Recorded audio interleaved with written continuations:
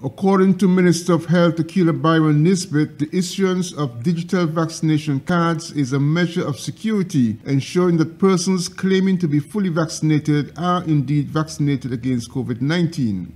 Recently, the ministry disclosed that fully vaccinated persons can go to the Innovation Hub located at the ICT Center at the Paul Southwell Industrial Site and present a valid ID and their vaccination card.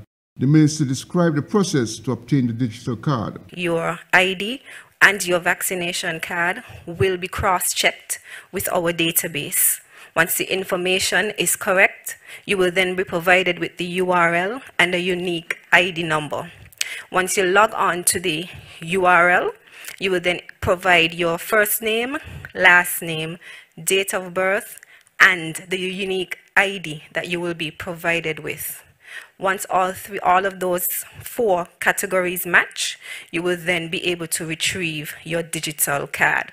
Your digital card looks similar to the actual physical card. The difference is that it includes a QR code. That QR code can then be scanned just to verify that indeed you are vaccinated.